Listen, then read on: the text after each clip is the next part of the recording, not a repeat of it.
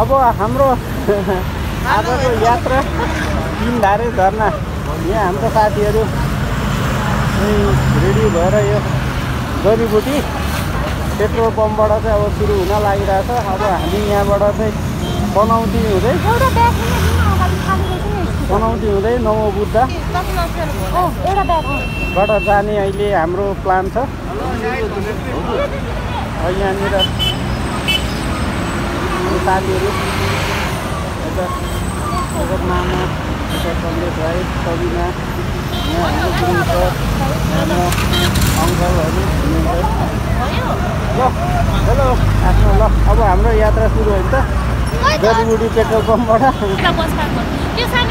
ल यो बनेपामा बनेपा बसमा चाहिँ हामी यहाँदेखि पनौती हुँदै जाने भनेर चाहिँ यहाँनिर साथी दुईजना पछाडि रह्यो दुईजना चाहिँ अगाडि गयो। यो बनेपा बस स्टप छेउमा। अनि यहाँनिर चाहिँ हाम्रो सल्लाह हुँदैछ कता दिन जाने भनेर सायद यो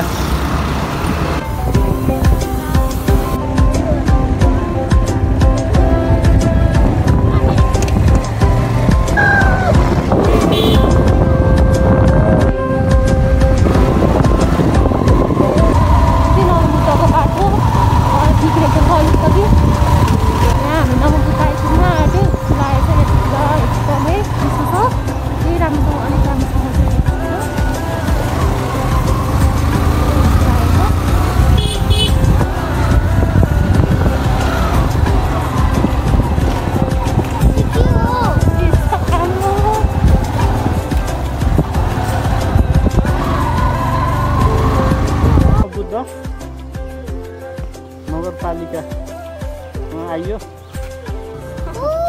हेलो साम्हाङ कस्तो लागिरहेको हेलो साम्हाङ यता हेर खासै भ्यूहरू चाहिँ हेर्न पाएको छैन यहाँनिर पुरा हुटे लागिरहेछ यहाँनिर हामी चाहिँ साथीहरूलाई वेट गर्दैछौँ यो पालिका यहाँनिर एउटा साथी दुईजना साथी आइपुग्यो हेलो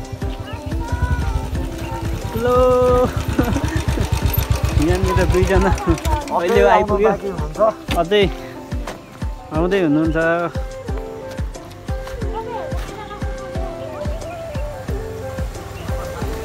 Hello hello. ल एक ग्रुप आयो फेरि अर्को ग्रुप। हेलो। हेलो। नगु नबुद्ध ल ल जाउँ जाउँ। अँ ल हिँडौँ हिँडौँ ल हिँड्नु अँ ल हिँड्नु अँ हिँड्नु हिँड्नु हामी त वेट उ गरेको मात्रै।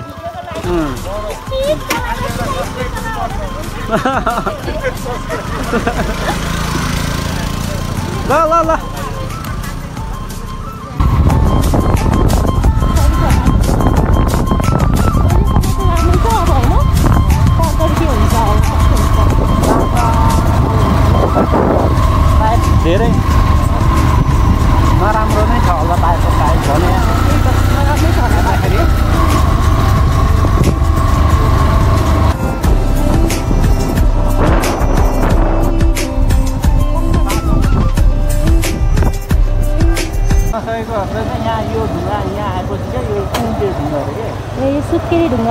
जो जो सुत्केरी हुनु सक्दैन प्रेग्नेन्ट हुनु सक्दैन यहाँ यहाँ आएर छुयो भने चाहिँ अनि यसो दलियो भने ए यो गाउँको नाम चाहिँ पुरानो गाउँ अनि यहाँनिर यो चाहिँ कस्तो भने काभ्रे जिल्लाको सबैभन्दा पुरानो गाउँ अरे क्या योभन्दा अरू थिएन अरे पहिला पहिला। यो वरिपरि चाहिँ गाउँ थिएन अरे अनि यो मात्रै थियो अरे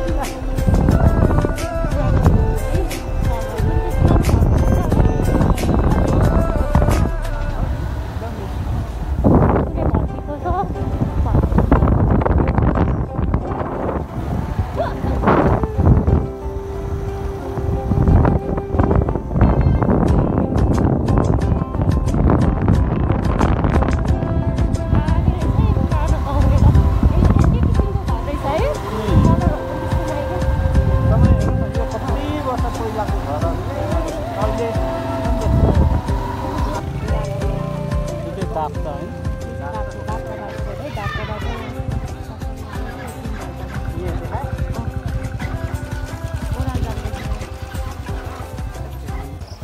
सरको भ्लगले चाहिँ आई मिन लाइक युट्युबले चाहिँ छिटो वान मिलियन पुगेर हामी पुरा बाहिर घुम्न जाउँ पार्टी होइन? उहाँले हामीलाई प्रमिस गर्नुभएको छ। त्यो भइहाल्छ नि त्यो भइहाल्छ हाम्रो चाहिँ यहाँ एउटा स्कुटर जाम परेर हामीलाई एकदमै झन्नै गाह्रो फाइनली इट इज वर्किङ है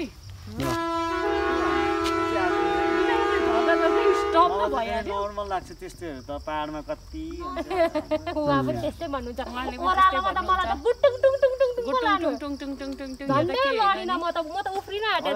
हाम फाल्न त्यसको पनि ब्रेक हुन्छ भन्ने विश्वास लाग्छ क्या कसको गाडीको ब्रेक हुन्छ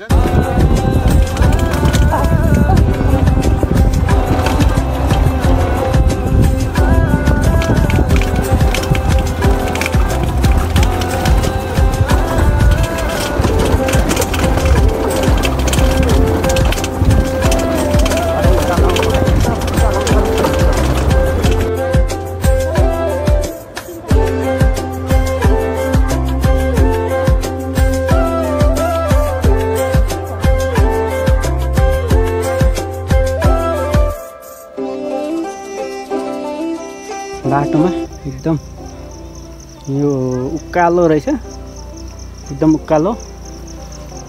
अनि ग्राभेल पनि गरेको छैन। धुले बाटो रहेछ। पानी पऱ्यो भने चाहिँ एकदम खराब हुन्छ। अहिले चाहिँ पानी परेको छैन। एकदम राम्रो छ। त्यही भएर एकदम राम्रो छ। हेलो ल उकालोमा तानिरहेछ नि। ल। साम्या कस्तो लागिरहेछ? बोरिङ। अफरोड फुल्ली। अफरोड छ। अब। ल ल बसिर झर्ना नजाने? जुगा छैन। जुगा त छैन। जुगाको औषधि औषधि जुगै आउँदैन। साम्याहरू चाहिँ जुगा आउँछ भनेर चाहिँ एकदम उसलाई चिन्तित भइरहेको छ। ठिक छ।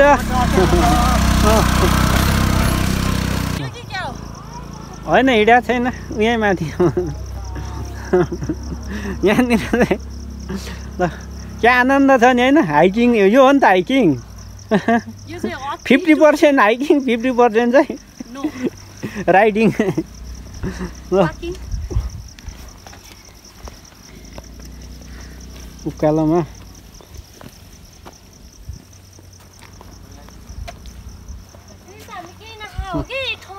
हाम्रो यो यहाँनिर चाहिँ बाइकहरू राखिसकेपछि खाजाको व्यवस्था यो चाहिँ घरदेखि हामीले लिएको यो चियाहरू बिचमा खानुपर्ने हाम्रो टाइम नै भएन अब हामी चाहिँ खाजा खाइसकेर हिँड्न आँटेको यहाँनिर चाहिँ एकदमै मान्छेले यति भिड छ कि यहाँ बाइकमा पनि त्यत्तिकै अब यहाँनिर हामीले बाइक राखेर यहाँ तल बाइक राखेर यो बाइक गर्ने पार्किङ रहेछ। अब यहाँदेखि हामी चाहिँ हाइकिङमाथि हिँड्दै जाने। यहाँनिर बाइकमा चाहिँ धेरै मान्छे छ कि यो तिनधारे झर्ना चाहिँ एकदमै अहिले चाहिँ तिनधारे झर्ना पनि भन्छ। यो बाहुबली झर्ना पनि भन्छ अब हाम्रो टोली चाहिँ यहाँ हेलो अब लाग्यो हिँड्यो होइन त। ल। अब चाहिँ हाम्रो टोली यहाँदेखि हाइकिङ हिँड्दै अब हिँड्न सुरु गरियो। ल अहिले हाम्रो अब त हाइकिङ पुरा पानी पनि पर्न लाग्यो। छाताहरू छ त सबै। सबै हामीसँग छाता रेनकोटहरू सबै व्यवस्थित तरिकाले आएको यहाँनिर चाहिँ धेरै यो उकालो यो एकदम चिप्लो बाटो भएर हामीले चाहिँ बाइक तल खाता खाने ठाउँमा राखेर आइयो। त्यही भएर चाहिँ हामीलाई एकदम आनन्द छ। अहिले कस्तो हुन्छ अब भरे गाडीहरूले चाहिँ ठिक हुन्छ। यो अब हामी आधी घन्टादेखि एक घन्टासम्ममा हिँड्दाखेरि हामी लगभग पुग्नेछौँ अहिले यहाँनिर आउ न। आउँछ नि त नि त्यो खसिरहेछ त्यसले पर्ख्यो भने त कहिले खस्यो यो एकदम कालो चिप्लो यो रातो माटो भएकोले यहाँनिर चाहिँ गाडीहरू चलाउन गाह्रो हुन्छ। त्यही भएर सबैभन्दा बेस्ट भनेको तल खाजा खाने ठाउँमा। बाइक स्कुटर तपाईँहरूको यातायातको साधन छोडेर आउनु भने एकदम राम्रो हुनेछ।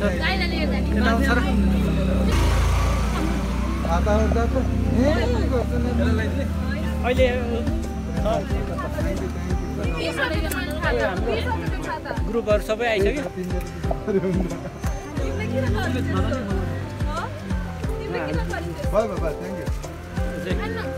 दुईजना आउन बाँकी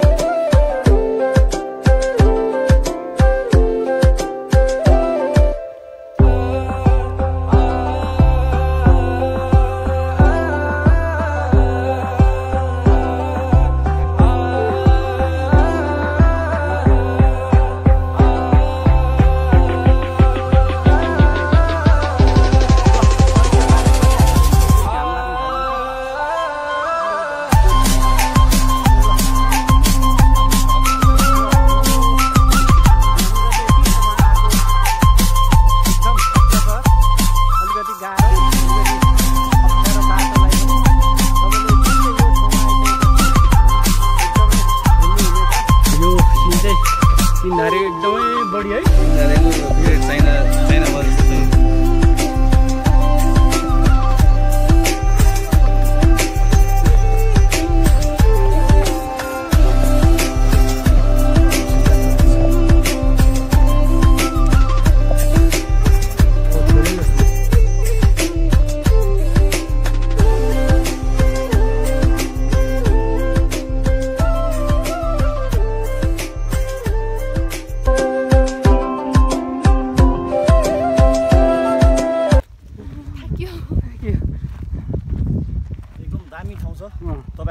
सबैजना आउनुहोस् घुम्न।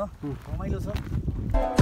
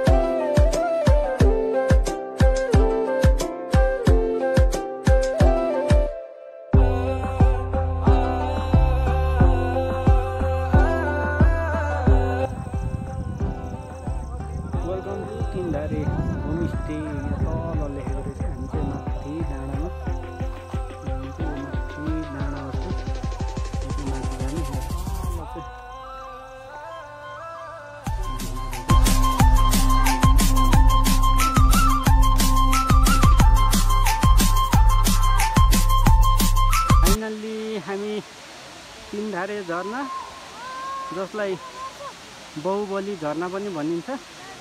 हामी यहाँनिर आइपुगेको यो चाहिँ तिनधारे झरनाको दृश्य हो। यहाँ तल यति धेरै मान्छे छ कि।